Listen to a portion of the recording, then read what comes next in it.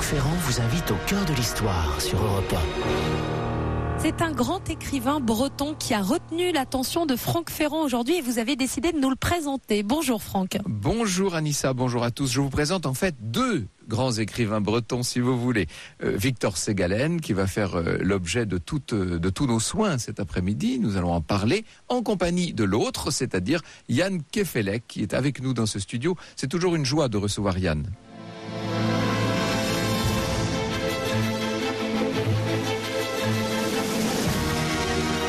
Cœur de l'histoire sur Europe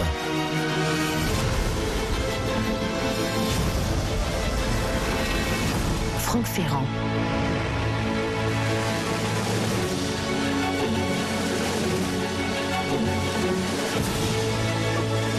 Sommes à l'hiver 1902-1903 à San Francisco. Imaginez l'agitation dans cette ville qui n'a pas encore connu à l'époque le, le, grand tremblement de terre. Ville où se mêlent des populations venues du monde entier. Il y a ceux qui s'installent, ceux qui sont de passage, des aventuriers en quête d'une autre existence, des voyageurs en escale. Et parmi eux, parmi eux, un médecin, médecin brestois de 24 ans, Victor Ségalen. Ce jeune homme est un peu frêle, mince. Vous l'imaginez avec sa moustache, de grands yeux que cachent un peu des lunettes, euh, comme on pouvait les faire à l'époque, hein, de, petites lunettes métalliques. Et au beau milieu euh, de, de, ce, de ce grand périple, on peut dire que Victor Ségalen s'est arrêté à San Francisco. Il a l'intention d'aller beaucoup plus loin puisqu'il est euh, engagé dans la marine en partance pour Tahiti. Pour lui, on peut dire qu'il s'agit d'un saut vers l'inconnu. Euh, c'est sans doute aussi euh, une façon d'échapper à sa famille, famille étouffante, où il a reçu une éducation assez étriquée. Simplement, à l'époque, se lancer dans un voyage comme celui-là, aller faire le tour du monde, c'est, euh, ça n'est pas sans danger. Pendant son séjour aux États-Unis, Victor est gravement atteint par la fièvre typhoïde et il va donc devoir s'attarder tout un moment à San Francisco. Alors on le voit euh, déambuler dans la cité et il découvre euh, les quartiers et notamment il découvre Chinatown. Alors on le voit dans ce dans ce quartier de Chinatown, il euh, cherche des objets, il assiste à une représentation de théâtre chinois. C'est un bref une brève immersion dans la culture chinoise, ça pourrait n'être qu'un épisode de voyage. En vérité, c'est un contact qui va être euh, très important pour Victor. Ça va sans doute d'une certaine manière euh, changer sa vie. C'est le début d'une relation qui ne va faire dans la suite que s'approfondir. Retrouvons-le, Ségalen, quelques années plus tard, si vous voulez. Alors, le temps qu'il a passé en Océanie a été très stimulant. Il a exercé là-bas son métier de médecin, bien entendu, mais il s'est aussi passionné pour la culture polynésienne, culture dont il a déploré la destruction à l'époque déjà très avancée, en ce début de XXe siècle. Euh, il a tiré un, un, texte de ses observations, s'appelle Les Immémoriaux, livre précurseur dans lequel il tranche avec la mentalité coloniale qui à l'époque était euh, parfaitement euh, normal et très répandu. Il a découvert également en Océanie une vie beaucoup plus libre. C'est lui qui s'est occupé des effets personnels d'un peintre qu'il ne connaissait pas vraiment et qui a disparu peu de temps avant, Paul Gauguin, bien entendu. Et puis il est rentré, bien entendu. Et même s'il a eu la joie euh, de, de, se marier, il faut bien dire que de retour, il a fait face à un certain nombre de déconvenus. D'abord, son livre, Les immémoriaux, est resté pour le moins confidentiel. Euh, les projets divers qu'il a pu euh, qu'il a pu former n'ont pas abouti. Et il faut pas, faut vous imaginer un Victor Ségalen anxieux, angoissé. Évidemment, la vie lui offre un certain nombre de sujets d'angoisse. Et c'est à ce moment-là que la Chine revient au cœur de ses pensées. Plusieurs de ses connaissances lui ont parlé, de l'extrême-orient. Il se dit que lui qui a constamment besoin de, de s'échapper, il pourrait peut-être trouver là-bas des horizons qui lui conviendraient. Jean-Louis Bédouin raconte, je le cite, ces galènes qui commencent à redouter qu'un séjour trop prolongé en France ne vienne à tarir ses sources d'inspiration, songent sérieusement à partir. Ne confie-t-il pas je me suis mis à l'étude du chinois. Tout compte fait, j'attends beaucoup de cette étude, en apparence ingrate, car elle me sauve d'un danger. En France et mes projets actuels menés à bout, euh, quoi faire ensuite, sinon de la littérature? En Chine, aux prises avec la plus antipodique des matières, j'attends beaucoup de cet exotisme exaspéré. on reconnaît hein, le style euh, un peu assez particulier de Victor Ségalen, sur lequel nous aurons tout à l'heure l'occasion de revenir, évidemment, avec euh, avec Yann Kefelec. Il faut dire que euh, la marine, dont il dépend toujours en tant que médecin, lui propose un poste d'élève interprète pendant deux ans en Chine c'est l'occasion, bien entendu, euh, sous réserve quand même de réussir un examen. Alors euh, il se jette sur l'opportunité, euh, il, il obtient, quitte à mentir un peu, un congé de la marine, il apprend la langue, il suit des cours de cynologie. C'est un élève assez brillant. Il va réussir l'examen en question sans difficulté et le voilà donc muni de tous les titres pour s'embarquer. Et donc, il s'embarque le 23 avril 1909 à Marseille. Euh, donc, euh, ça veut dire euh, qu'il faut rompre avec sa vie, la vie qu'il avait jusqu'ici. Il quitte sa femme, Yvonne, et leur jeune fils, ce qu'elle semble d'ailleurs assez bien accepter. Le lendemain, il lui écrit Ma Vonne bien-aimée, tu as été hier plus belle que tu pouvais raisonnablement l'être. Je t'aurais pardonné toutes les défaillances. J'aime infiniment que tu ne les aies pas eues. Sa famille viendra en Chine une dizaine de mois plus tard. Euh, d'ici là, un de ses amis, Auguste Gilbert de Voisin, l'aura rejoint et c'est avec lui que Victor a l'intention de mener une sorte de grand voyage, une expédition à travers la Chine. Ce Gilbert de Voisin n'est pas n'importe qui, c'est un homme très riche, euh, euh, qui est d'une culture absolument invraisemblable, assez fragile psychologiquement. Les deux hommes se comprennent néanmoins, ils ont le sentiment qu'ils pourraient faire de bons partenaires de voyage. Quoi qu'il en soit, Victor est seul à son arrivée euh, à Shanghai puis à Pékin en juin 1909 et tout de suite, eh bien tout de suite, il est confronté à cet ailleurs qu'il cherchait. Marie Dolé précise, Pékin le séduit immédiatement. C'est sa ville, comme le chinois est sa langue. Il la décrira à la fois comme un échiquier et comme un labyrinthe les enceintes qui la protègent, le plan géométrique, l'importance des tours dans le paysage, mais c'est également une ville où l'on s'égare, ville mal pavée, encombrée de chars à mules, de voitures archaïques, de devantures et d'une foule où se mêlent peuple et dignitaires en grande tenue, on s'engage dans un lacis de ruelles où il est difficile de suivre le chemin que l'on croyait tout tracé. Pékin fascine par son mystère. Eh bien, on peut dire précisément que ce sont le mystère, euh, l'étrangeté, les différences tellement euh, surprenantes de cette civilisation si difficile à saisir. On peut dire que c'est tout cela qui va devenir la source d'inspiration de Victor Ségalen, un explorateur ou un voyageur en tout cas, qu'attendent encore bien des aventures.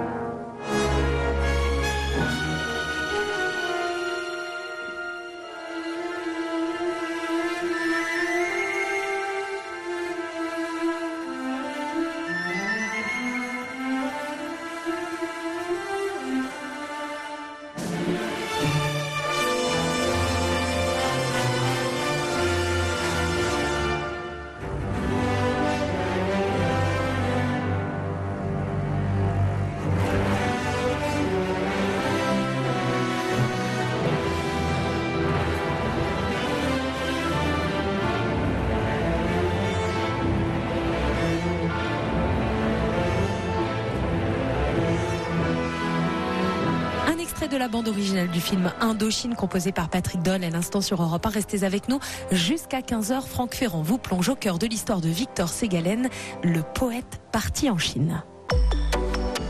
Europe 1.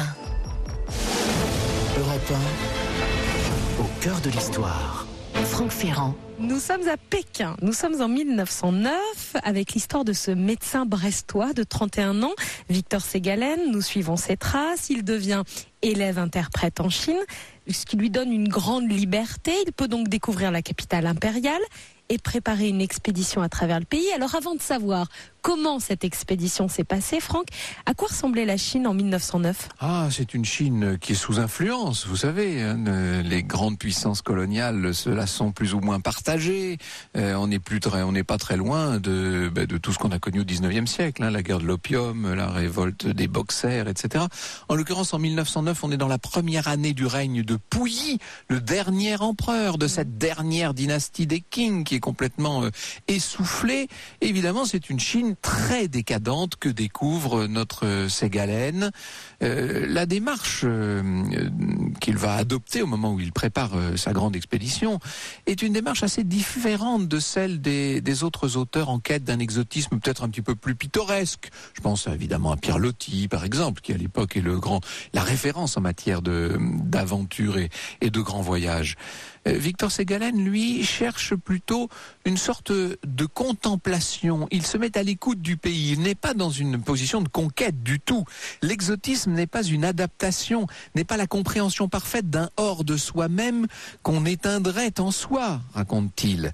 Euh, ne, nous, ne nous flattons pas d'assimiler les mœurs, les races, les nations, les autres mais au contraire, réjouissons-nous de ne le pouvoir jamais, nous réservons ainsi la perdurabilité du plaisir de sentir le divers. Euh, toujours cette langue hein, si particulière. Au bout de quelques semaines, euh, voilà enfin euh, Gilbert de Voisin qui arrive, euh, il n'est jamais trop tard.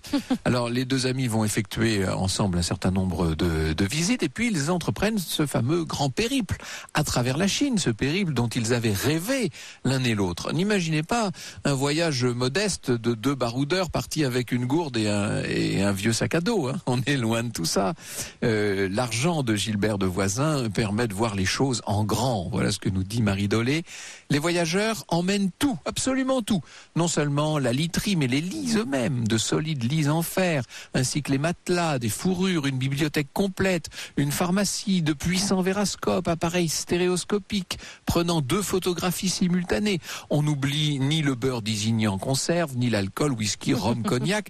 Pour porter tout ce chargement, cinq chevaux, onze mulets, plusieurs ânes, un palanquin à mules pour les malades. Le personnel est au complet, deux boys, deux palefreniers, un cuisinier un interprète. J'ai envie de dire le voyage tel que je le considère, moi, tel que je l'envisage. Ça m'irait très bien, ça, comme ça. Et les voilà donc partis pour plusieurs mois dans des régions encore méconnues, des villes grouillantes, des régions euh, dont le moins qu'on puisse dire est qu'elles sont peu hospitalières, des vallées aussi qui se révèlent d'une fertilité extraordinaire. Bref, leur parcours les enchante, bien entendu, euh, plusieurs milliers de kilomètres hein, quand même. Hein. Ils vont passer par euh, Xi'an, par le Sichuan, par encore Chongqing. On est dans le centre de la Chine, des régions dont on ne peut pas dire qu'elle n'ait pas été explorée par les Occidentaux, ce serait excessif de dire ça, mais qui sont en tout cas relativement méconnues, avec des dangers réels. Les mauvaises rencontres sont possibles à tous les coins de rue, euh, les voyageurs sont parfois amenés à traverser des zones dangereuses, des sentiers euh, euh, élevés, escarpés. Il faut aussi effectuer une part de l'expédition sur des cours d'eau qui peuvent se montrer extrêmement capricieux, hein, les courants, les tourbillons de ces grands fleuves qui traversent la Chine. Un jour, Victor passe même près de de, l'accident, euh, alors que son embarcation est en train de traverser des, rapides. Euh, c'est un voyage complet, total. C'est une immersion merveilleuse. Il découvre ce pays, il l'éprouve au sens de ses galènes, il l'éprouve dans son immensité. Victor engrange des souvenirs, des observations, mais à sa manière, toujours. Jamais il ne décrit les vêtements, l'habitat, le mode de vie, les échoppes des, hommes et des femmes qu'il croise sur les routes de Chine, nous dit Marie Dolé. Il ne mentionne pas non plus le mauvais temps, la pluie, les insectes, blattes, cafards, punaises, qui tiennent compagnie aux voyageurs. Seuls l'intéressent les paysages, les tombeaux et les statues il les photographie abondamment, mais, se, se soucie peu des habitants. Pendant ce long voyage, Victor Segalen élabore euh, des projets littéraires aussi ambitieux aussi stimulants qu'ils vont se révéler singuliers. Par exemple, il observe avec attention les stèles chinoises. il y a des textes, de courts textes écrits sur la pierre qui peuvent énoncer des lois, des messages spirituels, etc. Mais ça va lui inspirer une forme poétique très originale qu'il va développer dans un recueil devenu très célèbre, bien sûr, qui s'appelle précisément Stèles. Enfin, après avoir euh, descendu le Yangtze, après avoir effectué un détour, un court détour par, euh, par le Japon, les deux compagnons vont se séparer. Gilbert des voisins rentre euh, en France. Euh, quant, à, quant à Victor, après tous ces mois de solitude, ou de, enfin en tout cas de séparation, il retrouve Yvonne et leur fils. L'hiver 1910 s'achève déjà quand les Ségalènes se réinstallent à Pékin. Le détachement de Victor en Chine doit théoriquement durer encore un an si l'on en croit les papiers administratifs. Je dis bien euh, théoriquement parce que en vérité, le médecin écrivain a encore énormément de choses à vivre là-bas. Franck Ferrand. Au cœur de l'histoire de ce Brestois, Victor Ségalen, qui part en expédition à la découverte de la Chine. Et finalement, en 1910, il s'installe à Pékin avec sa femme et son fils, normalement pour un an encore. Hein oui, alors en fait, pour tout vous dire, il est euh, submergé par les projets. Ça y est, euh, là, on peut dire que l'inspiration est là. Euh, d'abord, il est dans l'élaboration de son recueil poétique, Stèle. Il travaille aussi à ce qui va devenir Le Fils du ciel, Fils du ciel, c'est une sorte de chronique euh, méditative des, des échecs de l'empereur Guangzhou. D'autres projets vont mûrir dans son esprit, euh, notamment un roman euh, qui s'appelle René Less, un roman plein de plein d'ambiguïté qui joue sur la fascination pour l'empire, encore une fois. Seulement voilà le printemps 1911, le moment où s'achèvent les deux années prévues d'élèves interprètes en Chine. Alors, c'est à ce moment-là que Victor apprend qu'un médecin français chargé de combattre une épidémie en Mandchourie vient justement de mourir et il va se porter volontaire pour prendre sa place. Bien entendu, ça va permettre de, prolonger un peu les choses. Comme on peut l'imaginer, c'est une tâche euh, ingrate et risquée.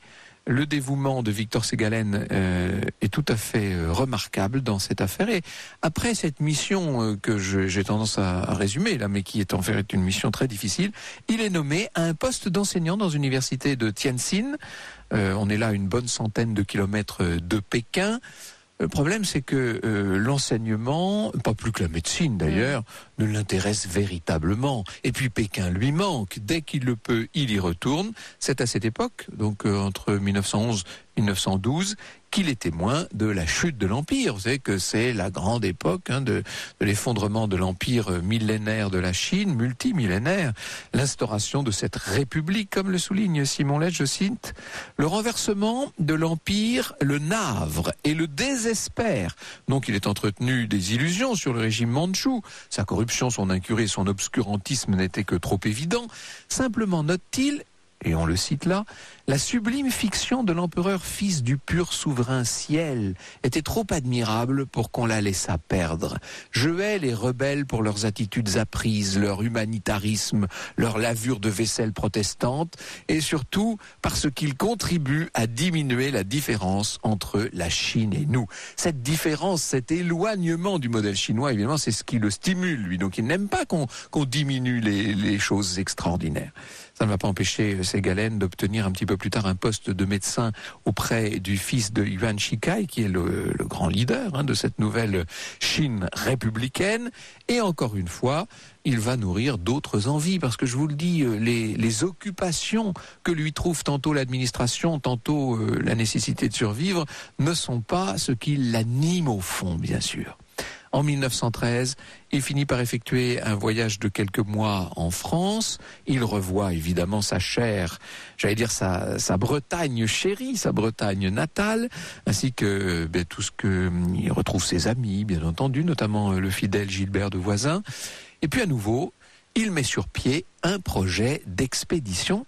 Seulement cette fois, alors qu'il a, euh, il dispose de cette vaste connaissance de la culture chinoise, et puis c'est vrai qu'il est encouragé par un certain nombre de ses relations, cette fois il met sur pied un projet résolument archéologique, de quoi nourrir de nouvelles ambitions pour l'avenir. Il se voit déjà revenu auréolé de découvertes, raconte Marie Dolé, et en bonne position pour obtenir, malgré un prévisible tapage chez les Sorbonnards, une chaire d'histoire de l'art chinois. Il n'escompte pas un succès immédiat, mais se voit finir sa carrière et là on le cite de nouveau, dans la noble peau de professeur à la Sorbonne ou au Collège de France. Ainsi, Le voilà de retour en Chine, accompagné de Gilbert Doisin et de son ami Jean Lartigue. Euh, ils vont partir de, de Pékin et ils s'enfoncent à l'intérieur de, de, la Chine pour mettre au jour un certain nombre de vestiges archéologiques. Euh, ce sont des découvertes très importantes. Ne croyez pas que ce soit simplement de petites occupations d'archéologues amateurs. Euh, des tombes impériales très anciennes sont mises au jour. Les semaines passent, très intenses, pleines de découvertes étonnantes. Euh, ça doit être un moment vraiment très exaltant. En août 1914, ils sont en chemin près de Lijiang dans le sud de la Chine quand un messager tibétain arrive jusqu'à eux, et ce qu'il a à, leur dire cueille, si j'ose dire, les trois compagnons. Et oui, euh, rappelez-vous la date, nous sommes en août 1914. Ah, c'est la guerre en Europe. C'est la guerre en Europe. Il faut rejoindre Hanoï de, de toute urgence. Hanoï, ville française à l'époque, bien sûr, et puis rentrer en métropole.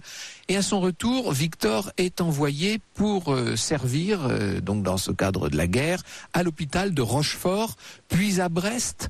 Il va faire pas mal de, de démarches pour essayer d'obtenir d'aller au front. Il n'y reste pas très vite puisque la maladie, il est quand même euh, d'une nature assez fragile. La, la maladie va le rattraper assez vite. Il se remet au travail. Seulement, à ce moment-là, on peut dire qu'il n'est plus tout à fait lui-même et qu'une sorte de dépression lancinante euh, l'a gagné. En 1917, il est envoyé en Chine dans le cadre d'une mission de recrutement de travailleurs. Seulement, ce voyage, vous savez qu'on a besoin de main-d'œuvre hein, à l'époque, bien sûr, et pour cause euh, ce voyage ne lui apporte pas vraiment de satisfaction. Euh, le Pékin impérial qu'il a tant aimé a disparu d'une certaine manière, ou en tout cas est en train de s'effacer, de reculer. Et à son retour, et ça en Chine, ça va très vite, hein, les changements.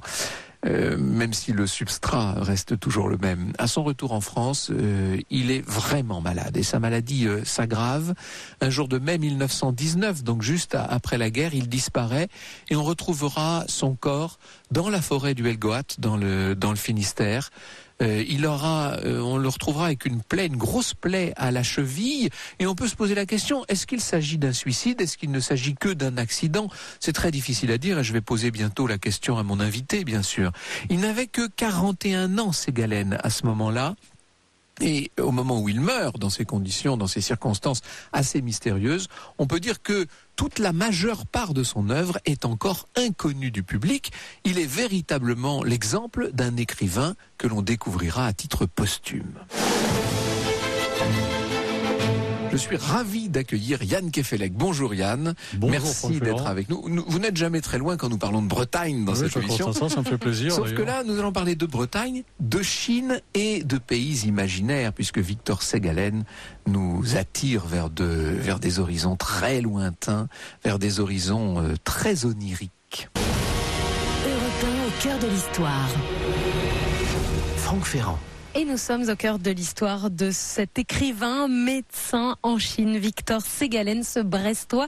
Vous êtes très nombreux à réagir sur les réseaux sociaux, de plus en plus euh, nombreux.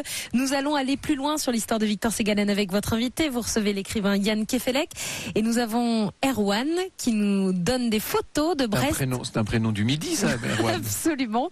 Euh, Erwan qui connaît très bien Brest, qui vient de poster quatre magnifiques photos et qui nous dit les aventures de Victor Segalen actuellement dans cœur de l'histoire et quelques photos toutes récentes de la capitale du Ponant. Oh, il est gentil, Erwan. Il, il va me sauver la mise. Parce que j'ai dit tout à l'heure que Brest était la capitale du Finistère. Et alors, euh, c'est une, une avalanche de messages, cher euh, Yann Quimper, surtout. Euh, on nous dit que c'est Quimper, la capitale du Finistère. Pardon. Il y, a, il y a énormément de capitales en Bretagne. C'est ça qui est, c'est le paradoxe breton. Nantes est la capitale de la Bretagne. Rennes est la capitale de la Bretagne. Brest est la capitale du Ponant. On peut aller ainsi jusqu'à Roscoff sans sans, Saint-Malo et la capitale, c'est une certaine des, corsaires bretons. des corsaires. Bon, euh, bon, admettons. En tout cas, c'est bien la capitale du Ponant.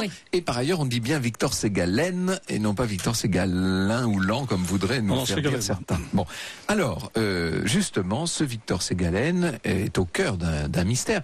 Nous verrons, nous reviendrons sur sa vie après, bien sûr, mais quand même, réglons la question de cette mort mystérieuse. Que lui est-il arrivé dans la forêt du Helgoat J'ai bien aimé tout à l'heure entendre parler de, de l'expression mal du pays. Oui. Euh, Ségalen est, est, à nouveau en Bretagne. Il est à Huelgoat, à l'hôtel mhm. d'Angleterre, si, si, je ne me trompe. C'est très beau, Huelgoat. Hein, on est dans le cœur. Là, prodigieusement beau. D'ailleurs, à Huelgoat, l'été prochain, il y a un colloque Ségalen où je pense mhm. que l'on va évoquer le mystère de, et le paradoxe de la mort de, de Victor Ségalen. Il est parti faire une petite euh, promenade au milieu de ces pierres étranges, euh, environnées de, de, légendes, la mare au fait, la, la, la, roche tremblante. Et là, et là, il a ce mystérieux accident à la jambe. On, on, le retrouve vidé de son sang avec une blessure euh, au bas de la jambe, autour de la cheville. On s'aperçoit qu'il s'est vraisemblablement fait un garrot, mais on est, mhm. on est absolument pas sûr qu'en se tranchant le, la cheville sur cette, sur cette tige biseautée, il ne l'a pas fait café exprès. Et voilà. Mais s'il s'est fait un garrot, c'est qu'il aurait eu des remords en bon médecin qu'il était C'est exactement ce à quoi j'ai pensé. Je me suis dit, peut-être a-t-il tenté de mettre fin à ses jours de la manière la plus douce possible, et peut-être en recourant, je ne sais pas, à un procédé chinois, parce que qui consisterait à, à s'entailler une artère. Euh, et ce vidant, voyant son sang, le médecin aurait réagi, n'aurait pas supporté la, vue du sang et aurait tenté de se sauver la vie. Mhm. C'était une époque de sa vie où il était dans le mal du pays, mais le mal du pays n'était pas la Bretagne. C'était le mal de cette Chine, qu'il avait construit tout au, tout au, long de sa vie et de pays où il n'arriverait jamais, où il ne retournerait plus jamais. Il était neurasthénique, il l'écrivait régulièrement euh, à ses amis. Il ne savait même pas de quel mal il mourait. Il, se sent, il sentait que la vie était en train de lâcher. Ce sont ses propres mots, alors que les examens médicaux le donnaient gagnant partout. Il n'avait pas la syphilis, euh, il n'avait pas mal au foie, il n'avait pas mal au rein, il avait, il avait mal nulle part. Mais la vie s'éloignait de lui et cette fois, elle s'est éloignée de lui définitivement. Définitivement, là, évidemment. Est-ce qu'au moment de sa mort, il est déjà quelqu'un de connu, voire de très connu? Il est quelqu'un de très connu en tant que spécialiste de la Chine. C'est-à-dire pas comme écrivain en tant que tel. Hein. Non, non pas. En plus, il n'a publié que trois livres lorsqu'il meurt. Mm. Mais surtout, la Chine est une planète euh, à part. Personne ne connaît la Chine. Tout à l'heure, lorsque vous évoquiez comme ça ces grands voyages à travers la Chine, c'est exactement comme comme, comme l'Afrique. C'est-à-dire, on connaissait la Chine on connaît les côtes, on connaît les côtes, mais en revanche, on se garde bien de s'aventurer dans cette Chine profonde, éloignée de tout centre médical où finalement mourir euh, est la chose du monde la mieux partagée. Lui, il, euh, lui, il l'a fait. Vous évoquiez sa santé fragile. Ce qui est extraordinaire, c'est quand même, il a attendu d'être revenu en France pour avoir une espèce de gastro-entérite à Dixmude, alors qu'il a, il a eu toutes ces, toutes ces sermentures en Chine au cours desquelles il ne lui est strictement rien arrivé. Il, est fragile mais résistant, si je puis dire. Hein. C'est un, un, roseau qui plie et qui d'ailleurs se plie pour épouser les réalités du, du pays qu'il découvre. C'est ce qu'il y a de merveilleux chez, euh, chez Ségalen. C'est cette, cette ouverture. Mais Ségalen, Ségalen est devenu, c'est totalement enchinoisé au contact de la Chine. Il a été accepté partout. C'était un homme, c'était un homme extrêmement doux, extrêmement flexible, qui ne s'est jamais comporté en conquérant. Il n'est jamais arrivé avec une attitude arrogante à l'occidental. Au contraire, il n'a cessé de vouloir se chinoiser euh, au maximum, jusqu'au moment d'ailleurs où, lorsque Sun Yat-sen a pris, a pris le pouvoir, il a refusé cette occidentalisation des choses, et cela un tout petit peu, ça l'a mis dans un état de porte-à-faux total par rapport à cette nostalgie d'une Chine qui ne reviendrait plus jamais. À la fois, il n'y retournerait pas, et en même temps, l'impérialisme chinois était mort. Ce qui ne veut pas dire que lorsqu'il rentre euh, en Bretagne, il n'est pas heureux de retrouver sa Bretagne. Hein, parce qu'à côté de ça, il aime vraiment cette Bretagne. vous savez, un Breton, il emmène sa Bretagne partout. La Bretagne, c'est sa propre cité interdite. Lorsque vous vous baladez à travers le monde, vous trouvez des Bretons absolument partout qui sont capables de vous donner l'heure des correspondances euh, à Rodon de, de, la Micheline qui part de Brest à telle heure, en versant des larmes, alors qu'ils ne reviendront jamais dans, dans leur Bretagne. La Bretagne intérieure est au moins aussi importante que la Bretagne intramuros pour le breton. La Bretagne intérieure, voilà un, bon titre, n'est-ce pas? Je pense que cette, cette, Chine que hum, Ségalen n'a cessé de, de, vouloir euh, rencontrer, cette Chine interdite, cette Chine de la cité interdite, correspond à sa propre Bretagne intérieure également et à son propre ego le plus subtil. C'est un homme qui était dans une quête éperdue de lui-même, ne se trouvant pas lorsqu'il vivait en France. Il est parti le plus loin possible, de manière antipodique, comme il l'a dit. J'aime énormément ces frontières antipodiques que vous avez. Mhm. évoquées tout à l'heure, dans l'espoir, là-bas, de trouver cette, vérité qui s'est toujours dérobée à lui. Et aussi singulier soit-il, ça n'était pas une démarche unique à cette époque. Loin de là, euh, on a oublié à quel point, dans ces années 1900, très nombreux sont les amoureux de voyage qui vont comme ça chercher leur vérité ailleurs, d'une certaine façon. Euh, évidemment, on pourrait pas, on pourrait parler de Charles de Foucault, on pourrait parler, le nombre d'exemples est, quasiment euh, infini. On était infiniment ouvert sur le monde. C'est vrai que la, la France à l'époque est un très grand empire colonial, mais au-delà du colonialisme, il y a la recherche de, de l'ailleurs et du, et du monde.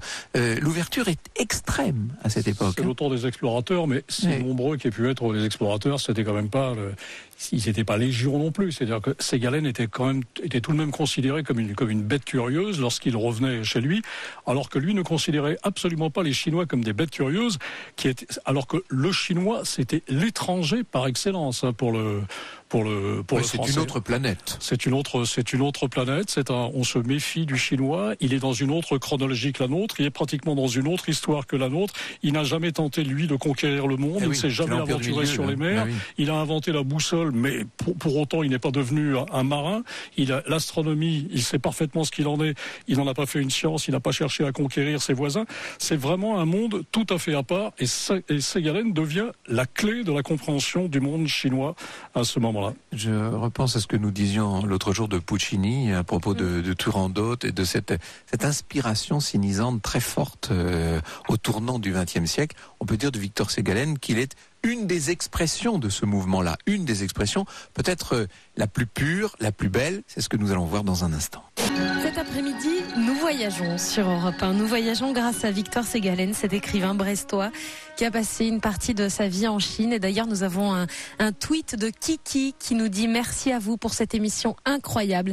J'apprécie les savoirs divers de Franck Ferrand et cela m'a suscité le mal du pays, l'envie d'y retourner. Effectivement, nous en parlons. Envie de retourner en Chine. En Chine, mmh. bien sûr. Nous parlons de la Bretagne, de la Chine et surtout du destin de Victor Ségalen avec votre invité, l'écrivain Yann Kefelec. Alors, justement, il faut que nous revenions sur les origines de Victor Ségalen. J'étais très allusif tout à l'heure.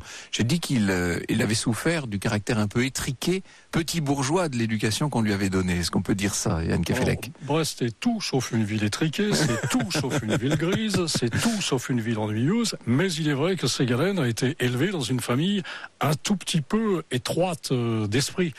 Euh, il s'est retrouvé dans un collège de jésuites, Bon Secours, qui depuis euh, n'existe plus. Et c'est vrai que là-bas, il a plutôt été dressé à une, à morale extrêmement sévère, avec des parents particulièrement euh, durs avec lui, notamment sa mère, l'autorité de sa mère, dont il a constamment souffert, souffert et qui et qu'il a privé de l'amour fou qu'il a éprouvé une première fois pour, une jeune fille, qui a cassé cette union. Et je pense qu'il ne s'est jamais remis justement de la mort, de la disparition de ce premier amour du fait de la de, de, l'autorité maternelle. Euh, d'ailleurs, il a il a utilisé l'autorité maternelle pour en faire un de ses personnages dans, dans, le, dans le, Fils du ciel, quoi, l'horrible douairière comme ça qui, qui, fait mourir la fiancée du, du, jeune, du jeune empereur. C'est à l'évidence le, le personnage de sa mère qu'il a pensé. Donc Ségalen finalement n'a eu de cesse que d'échapper, sans d'ailleurs l'avoir choisi véritablement, sans l'avoir ressenti véritablement, que d'échapper justement à cette influence familiale très dure qu'il éprouvait dans la ville de Brest. Est-ce que, devenir médecin était le meilleur moyen pour, euh, pour échapper à Mais tout ça Il n'a été il n'a été finalement ni médecin ni marin. Ce sont les circonstances euh, de la vie et la nécessité d'une insertion sociale qui ont fait de lui un, sans doute un assez mauvais médecin et à l'évidence un, un, très mauvais marin. Mais le fait est que grâce et à la médecine et, euh, et à la marine, il s'est retrouvé en Polynésie où là ça a été alors, alors là ça a été un choc. On peut dire que la grande révélation elle s'effectue là-bas en Polynésie, en Océanie. Vous avez bien fait de rappeler tout à l'heure qu'il était avant d'arriver en Polynésie, il était passé par San Francisco. Ah oui, et ça j'ai trouvé ça très intéressant parce qu'en effet, le Chinatown, c'est devenu ça. C'est là qu'il a eu la, c'est là qu'il a été mordu, qu'il est tombé dedans. Eh à ce moment-là, à Chinatown, il a redécouvert à Chinatown l'opium, très certainement opium que la marine française, faut pas trop le dire, mais c'est pourtant la vérité, que la, marine française avait considérablement vulgarisé dans, dans, les bars de Brest et pas simplement de, dans d'autres villes comme Paris et Toulon. L'opium, c'était pas du tout extraordinaire d'en fumer à cette époque-là. Aujourd'hui, le cannabis, euh, voilà, non cannabis, mais à cette époque, c'était oui et non, oui, euh, à l'opium. Ça dépendait de, des circonstances et des opportunités. Il y avait goûté, euh, l'ami euh, l'ami Victor, et c'était déjà pour lui un moyen d'échapper à la morale très stricte inculquée par sa mère. C'était aussi l'envie de comprendre. Il s'apercevait qu'il était tout à fait autre chose que le petit bonhomme que l'on cherchait à faire de lui. Il était en quête d'un grand Victor Ségalen en contact quotidien avec le petit Victor Ségalen que l'on voulait faire de lui. San Francisco était une, étape supplémentaire vers la désinhibition et vers la libération Polynésie, ça a été la Ah, révélation. Ça a été la révélation parce que ça a été un monde en couleur, un monde en couleur et un monde en liberté. Jusqu'ici, sa vie était un peu en noir et blanc. Et là, d'un seul coup, c'est la couleur. Pas du fait du ciel de Brest qui est le, Non, qui non, qui est non, le- c'est qui est pas le- ce que je qui est voulais le dire. ciel le plus mouvementé. On va parler d'un camailleux de bleu, si vous préférez. Le camaillot de bleu et, et d'or aussi. Euh, mais il a- n'y a, aucun doute que la Polynésie, pour lui, ça a été cette révélation, révélation à la fois de la, liber- de la liberté, de la violence du climat et en même temps de la liberté de l'individu, de l'être humain.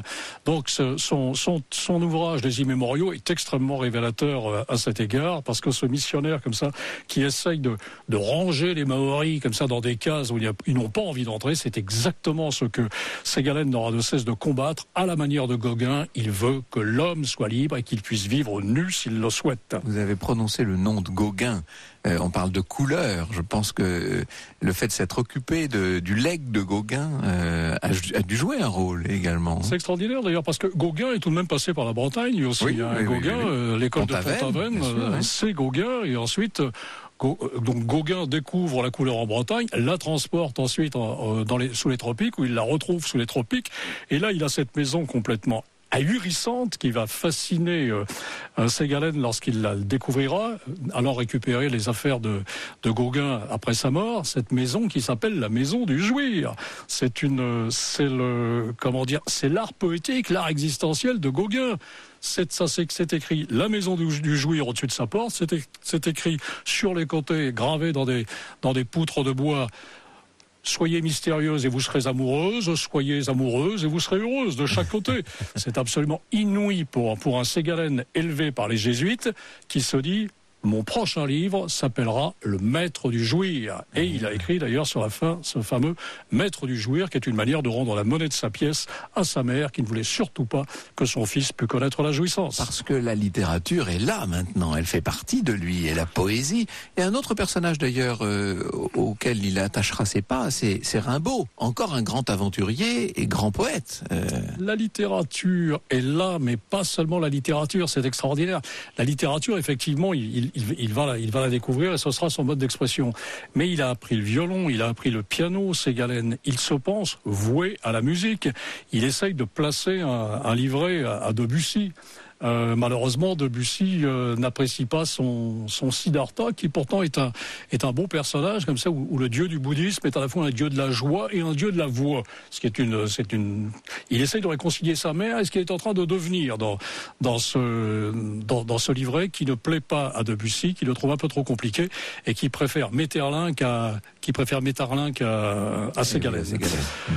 Je parlais de Rimbaud. Alors, une Rimbaud, c'est un, Rimbaud, c'est, c'est un homme qui est fou d'art, Ségalen. C'est pas, c'est ça, c'est un trait de l'époque. Quand on est cultivé, on n'est pas à moitié. On n'est pas simplement euh, amou- amoureux de la musique, amoureux de la sculpture, amoureux de.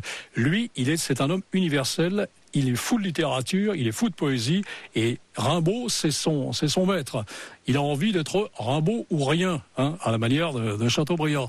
Donc, euh, et c'est vrai qu'il va mettre non pas tout à fait ses pas dans ceux de Rimbaud, mais il est tout de même dans, la- dans une quête du délire d'essence, quête du délire d'essence qui va l'amener à voyager énormément, comme l'a fait Rimbaud. Il va passer par Djibouti, d'ailleurs, Ségalen, oui. et là, il va rencontrer des gens qui ont connu Rimbaud, qui vont lui parler de Rimbaud, Qui ont connu le deuxième Rimbaud d'une certaine qui ont, manière. hein. qui ont connu le deuxième Celui qui était Rimbaud. devenu négociant. Rimbaud son ouais. double, d'ailleurs, voilà. c'est bien ça qu'il a, Le écrit. titre ce- même celui qui non seulement était devenu négociant, mais il était devenu analphabète. C'est Mhm. quand même euh, ahurissant.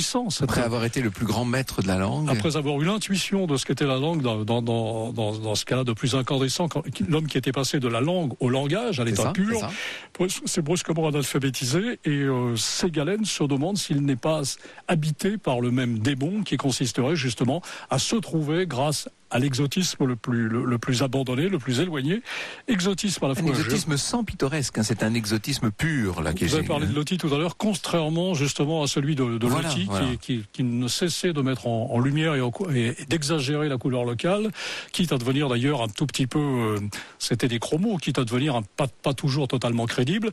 Lui, euh, Ségalen, ne décrit pas en effet les mœurs comme ça de toutes les, de toutes les régions chinoises euh, qu'il traverse. Il est plutôt embrasé par un amour de dire l'art de ces lieux et de traduire sur un plan à la fois philosophique et lyrique ce que représente l'exotisme pour lui. C'est un exotisme de l'éloignement, mais c'est aussi un exotisme du temps. C'est-à-dire, il ne cesse de parler de l'expérience, de la durée, de l'étirement du temps sur lui grâce à la Chine. Eh bien voilà, ça c'est quand même étonnant. Alors bien sûr que la Chine a maîtrisé le temps, et c'est peut-être ce qui l'a fasciné, mais on aurait pu imaginer que cet homme qui découvrait en quelque sorte une nouvelle liberté en Polynésie, en Océanie, loin de quasiment toute référence, et qui, euh, qui mettait très haut et Gauguin et Rimbaud et d'autres, euh, n'allait pas pas s'illustrer, n'allait pas trouver son, pas trouver son, son, son lieu d'élection dans la Chine, qui est tout le contraire. La Chine, très vieille culture, ultra codifiée, etc. Comment est-ce que Ségalen a pu se retrouver dans la Chine? C'est la question que nous allons nous poser maintenant au cœur de l'histoire. Franck Ferrand. Jusqu'à 15h, Franck Ferrand, vous nous emmenez à la découverte de Victor Ségalen, ce poète breton parti en Chine et nous le découvrons grâce à votre invité, l'écrivain breton aussi, Yann Kefelec. Pouvez-vous m'expliquer ce qui a pu à ce point fasciner Victor Ségalen dans la Chine, dans la Chine impériale, dans la Chine immémoriale? Yann Kefelec. Je pense que c'était un. Je vous ai, parlé d'une caté perdue de lui-même. Je pense qu'il il cherchait ce qui était le plus opposé à ce qu'il était. En même temps, c'est vrai qu'il est dans le tempérament breton de franchir les horizons, euh, encore aujourd'hui, et d'aller le plus loin possible sur un plan géographique, finalement pour regretter ce que l'on a quitté, à, savoir sa, à savoir sa Bretagne. Et il a, dans, dans il a parlé de cette fameuse Cité interdite, c'est le roman le plus étrange de Ségalen, Ronelles. Je pense que c'est vers ce, texte que j'orienterai ceux qui n'ont pas encore lu euh, Ségalen et qui souhaiteraient le découvrir, parce que sans être un texte autobiographique, c'est tout de même une espèce de roman où il dit bien que sa vérité lui échappe constamment, sa vérité à lui, et qu'il ne trouve sa propre vérité qu'à travers les signes qui sont les signes du langage. Ces signes, ces fameux signes du, du langage ne sont jamais si beaux, si étranges, si, arborescents que ceux du langage chinois. Et pour cause, oui. Donc, Ils sont des œuvres d'art à part entière. Chaque, chaque, idéogramme eh chinois est, est, une œuvre d'art. Et c'est vrai qu'il a été extrêmement sensible à cette manière de dire les choses qui est celle de la langue chinoise et de l'écriture chinoise, de les dire, de les suggérer et de ne pas les dire. Et en même temps de les offrir à la liberté de compréhension de celui qui les découvre. Avec ces galènes, on est à la fois dans le royaume du signe qui dit la vérité et du signe qui ment, ou en tout cas qui laisse libre l'autre de son interprétation des choses. Et ça, je pense que c'est ça qui a fini par le happer totalement dans, dans, ce, dans cet univers chinois, dans, cette, dans cet émerveillement chinois. C'est qu'à la fois, lui qui n'osait pas dire véritablement qui était avec l'éducation qu'il avait reçue, c'est-à-dire un homme sensuel, un homme pas forcément fidèle, un homme attiré par les paradis artificiels, grâce à cette manière demi-mensongère et enchantée de dire les choses, il arrivait à être finalement en phase avec sa morale. Je trouve euh, peut-être utile, si vous voulez, de dire un petit extrait de René Lest, justement. C'est vers le début du roman, ça parle de, Pékin. On ne peut disconvenir que Peking ne soit un chef-d'œuvre de réalisation mystérieuse, écrit-il. Et d'abord, le plan triple de ces villes n'obéit pas aux lois des foules cadastrées, ni aux besoins locataires des gens qui mangent et qui peuplent. La capitale du plus grand empire sous le ciel a donc été voulue pour elle-même, dessinée comme un échiquier tout au nord de la plaine jaune, entourée d'enceintes géométriques, tramée d'avenues, quadrillée de ruelles à angle droit, et puis levée d'un seul jet monumental, habitée ensuite et enfin débordée dans ses faubourgs interlopes par ces parasites les sujets chinois, mais le carré principal, la ville tartare mandchou, fait toujours un bon abri aux conquérants et à ce rêve.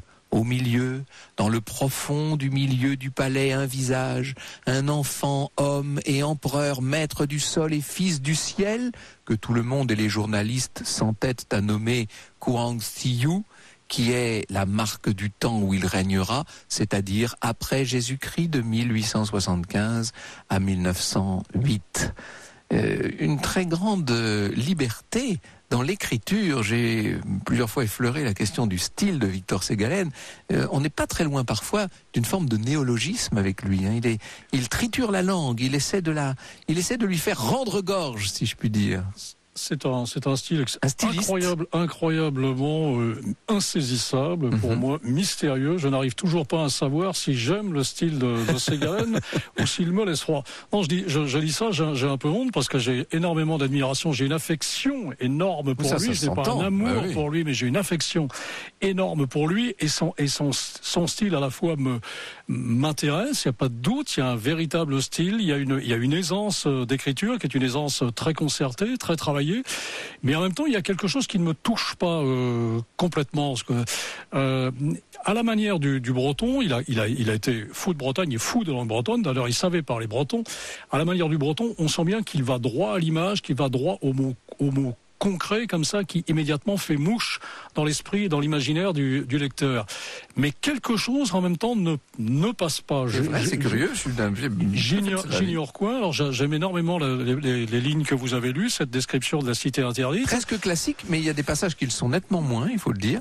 Ah mais de toute manière, dans, dans, dans Stel, on voit, il, est, il, est, il est attiré par, il est, s'il est attiré à ce point par la poésie, c'est également parce que la poésie lui permet cette liberté d'écriture que la prose théoriquement de déchirer la phrase un peu comme ça, un peu à la, manière de, de, Rimbaud, hein, précisément.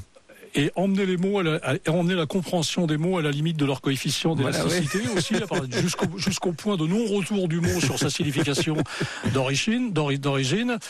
Euh, c'est un grand styliste. Il est fasciné par, il est fasciné par l'écriture, mais il n'y a, y a pas comme chez Rimbaud ou comme chez Baudelaire, il n'y a pas brusquement le, le, lecteur qui est emporté dans le, dans le, frisson comme ça de, l'écriture lié au style de Ségalène. Non, mais il y a d'une certaine manière une revanche de Ségalène, par exemple sur un Pierre Loti qui, euh, de son vivant, qui en 1900 était l'auteur le plus vendu, qui était une espèce de, de, de gourou, de mythe vivant, euh, et qui aujourd'hui n'est quasiment plus lu, alors que Ségalen ne l'a jamais tant été. Vous avez tout à fait raison de dire ça, et peut-être suis-je totalement dans l'erreur en disant ce que je viens de vous dire. Non, non, non, mais c'est pas une question d'erreur, c'est une question de sensibilité. Je pense, je pense, je pense que le style de Ségalen est un style pionnier, un style devancier, et que maintenant, on va, moi-même d'ailleurs, je vais peut-être commencer à le comprendre, et que si Pierre Loti a disparu et que Ségalen était contraint de, de, de, se, de se mettre à briller aujourd'hui, c'est aussi grâce au fait que la Chine est en train de devenir un, est en train de devenir le pays de l'avenir, un pays où on va tous euh,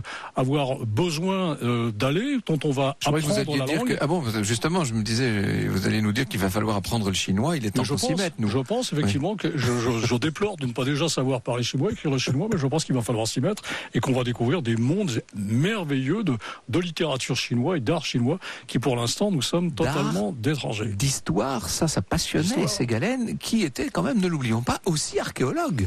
C'est un aspect que nous n'avons pas évoqué, mais qui est très important. Hein. Ah, c'est immense d'ailleurs. Si je ne me trompe, il a, il a découvert une statue. C'est une découverte euh, énorme, hein, mhm. aussi, aussi important que la, la, découverte des pyramides. Il a découvert, mhm. il a mis à jour comme ça des tombeaux funéraires euh, énormes, impériaux, oui, dont, il très a été, dont il a été l'inventeur, et notamment ce cheval grandeur nature en train de dominer euh, un, un, barbare qui remonte à, je crois, à 117 ou 120 ans avant Jésus-Christ. Merci beaucoup Yann Kefelec. Je rappelle que vous êtes notamment notamment, entre autres tellement nombreux ouvrages, l'auteur du dictionnaire amoureux de la Bretagne chez